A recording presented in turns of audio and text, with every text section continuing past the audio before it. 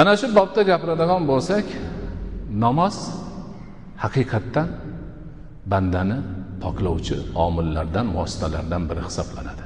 Tahorat bo'lganidek namoz eng ulug' poklovchi narsa omil vosita. Namoz dinning ustuni. Namoz mo'minning meroji. Namoz gunohlarni mag'firat qilishga sabab bo'luvchi omil.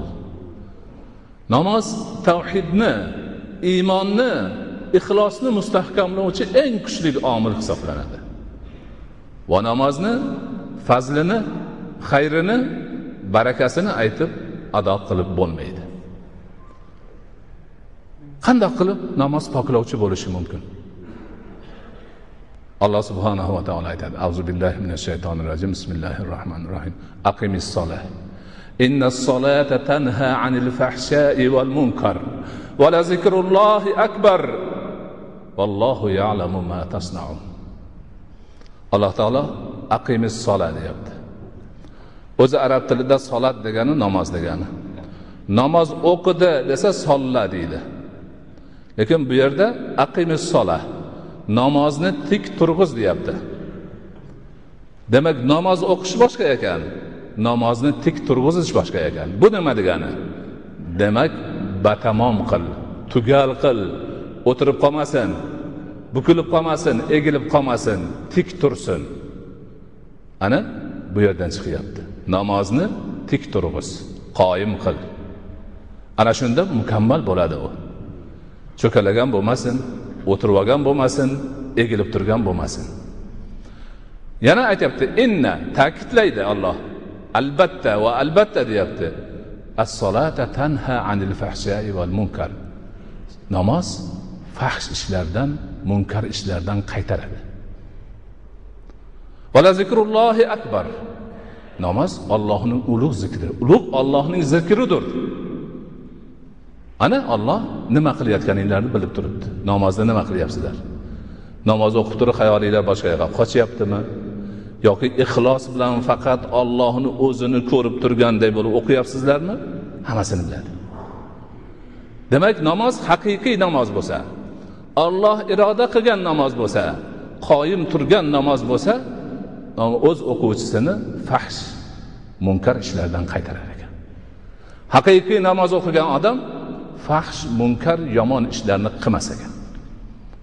Mana shu haqiqatni biz bilishimiz kerak. Agar biz haqiqiy namozni qoyim qiladigan bo'lsak ichimizda bugungiga o'xshab nima uchun palonchi namoz o'qib turib yolg'on gapiradi degan chiqmaydi savol. Manga bermaysizlar shu savolni. Qoradomlarga bermaysizlar boshqalarga bermaysizlar.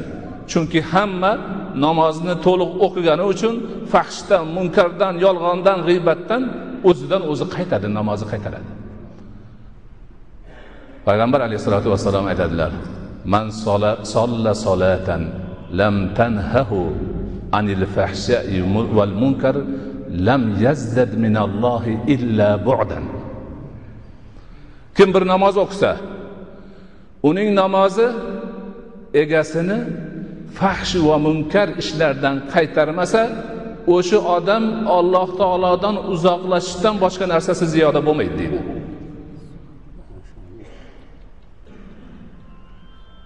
Demak biz namozni shu haqiqatini tushunishimiz kerak. Aynan biz o'ylayotgan ruhiy poklik shu. Ana namozni o'qiganimizdan keyin biz fahshdan fohisha ishlardan gaplardan poklanamiz. Munkar man qilingan shariatda yomon deyilgan ishlarni barchasidan poklanamiz. Mana shu haqiqatni biz bilishimiz kerak. Namoz? Bu qandaydir bir majburiyatu banda shuni tezroq qilib qutulishi uchun farz qilingan ibodat emas.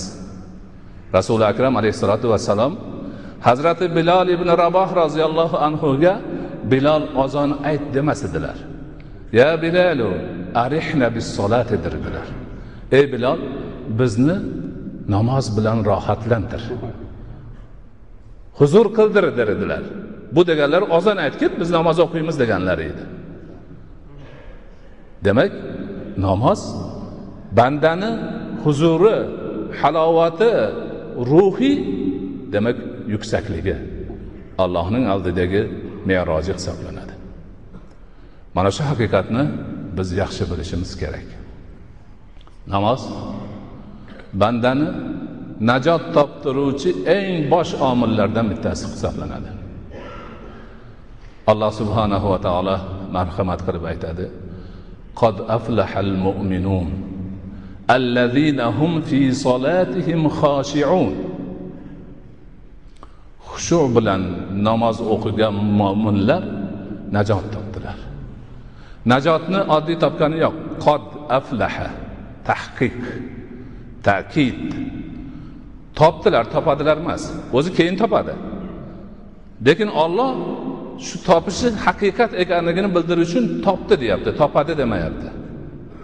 Topdi. Namoz o'qidimi? Topdi. Lekin u namozi nima ekan? Xushuli bo'lishi kerak ekan.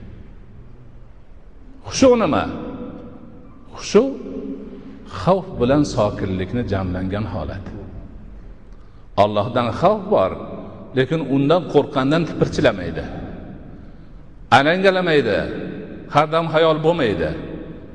Qo'rquv sokinlik bilan aralashadi. Bu sokinlik demak bandani robbisi oldidagi sokinligidir. Umidvorlik sokinligi savob olish sokinligi. Ana mana shu narsani ta'minlash uchun harakatda bo'lish kerak. Namoz o'qiganda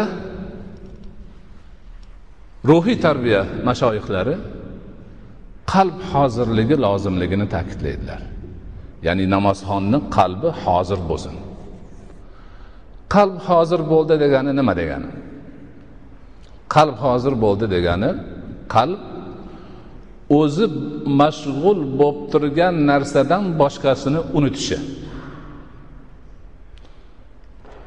Namozda qalb hozirligi demak namoz o'qiyotgan kishini namozdan boshqa narsani tamoman unutishi bilan bo'ladi. O'zi namoz labi pichirlayaptiyu xayoli bozorda yurmaydi.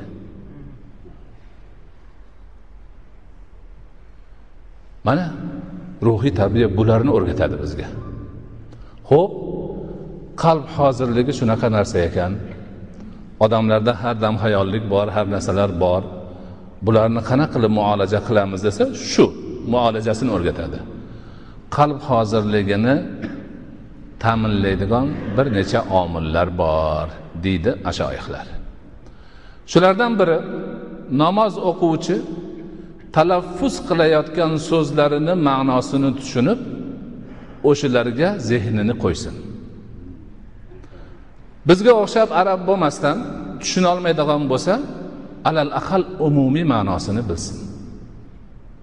Nima qilayotganligini qur'onni o'qiyotganini ollohni kalomini tiliga olayotganligini zinhor unutmasdan qalbidan shuni jo qilib tursin. Butun vujudi bilan demak his etsin qalbi hozir bo'ladi. Qalb hozir bo'lishligiga mone bo'ladigan narsalar ikkiga bo'linadi.